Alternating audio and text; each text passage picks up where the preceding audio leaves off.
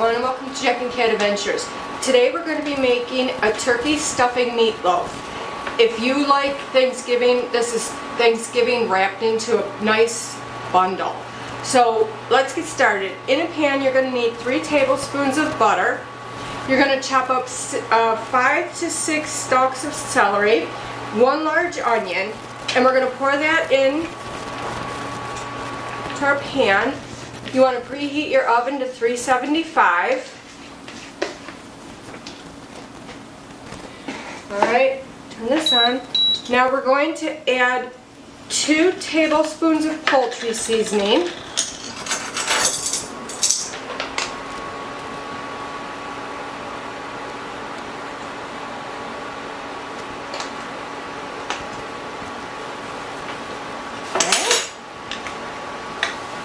Chicken dust.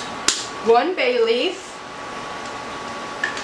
and salt and pepper. We're going to cook this till it's tender.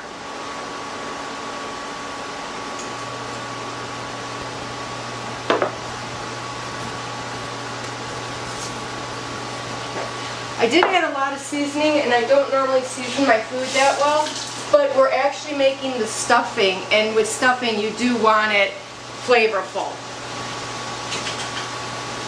So let's get this until it's tender. Just keep stirring it around. It'll take a couple minutes. Just don't have it up too high so you, they don't burn.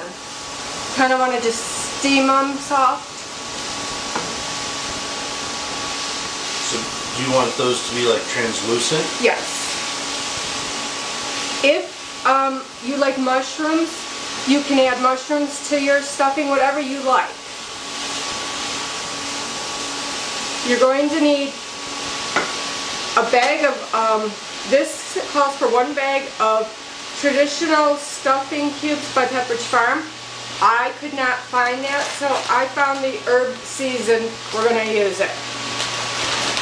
It's kind of tough to find stuffing in the middle of summer. Right, and then um, you're going to need chicken broth or stock and three to three and a half pounds of ground turkey and one egg.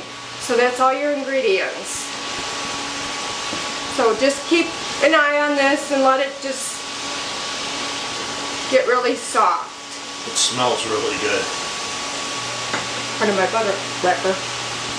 Oh, a little plastic buddy. Yeah. Alright, while you're letting your onions and your um, celery cook, let's get started on the stuffing part. So in a large bowl, make sure it's large because we're going to add everything to this bowl. You're going to need to add your stuffing mix.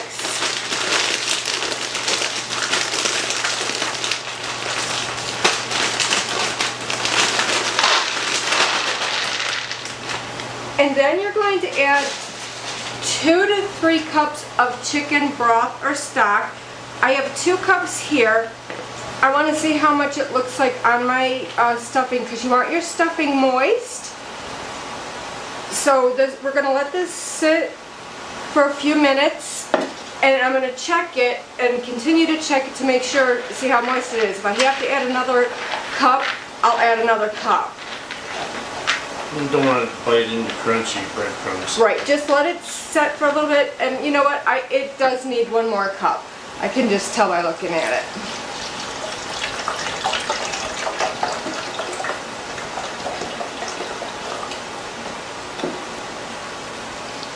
You really want it to get moist and soft. all that stuff.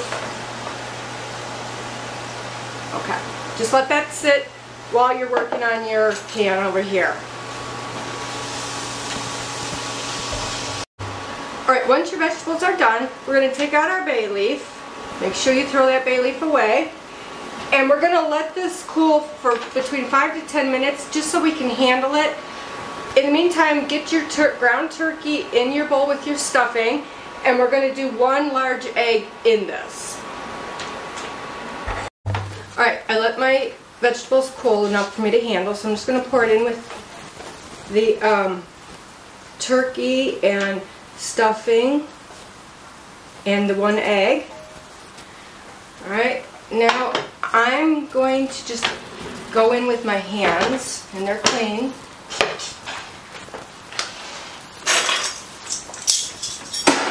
Because it's just going to be easier to do it this way. And just get all that stuffing into the turkey. Come in and take a look.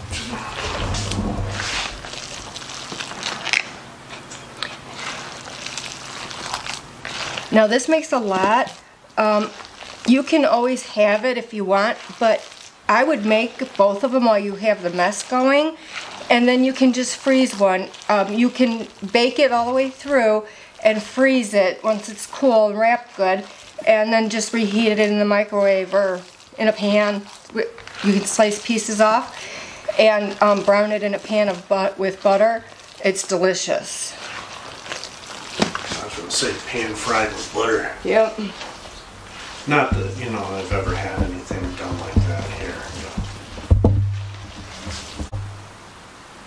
All right, so now mine's mixed really well, so I'm gonna take and split this in half.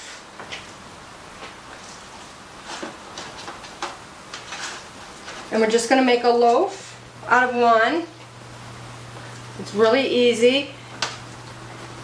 And I'm glad I did add that extra cup to make three cups of broth uh, to my stuffing because this is going to go into the oven at 375 for 45 minutes to an hour until it's nice and brown and um, it, the meat thermometer reads 165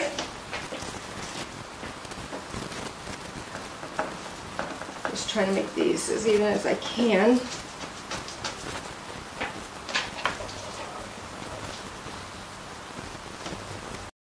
Once you make the loaves, you're going to drizzle, drizzle them with extra virgin olive oil.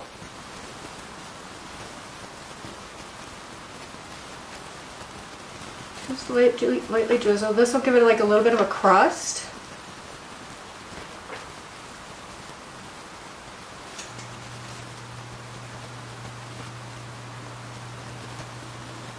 Okay, now this goes in the oven for 45 minutes to an hour or until the meat thermometer reads 165.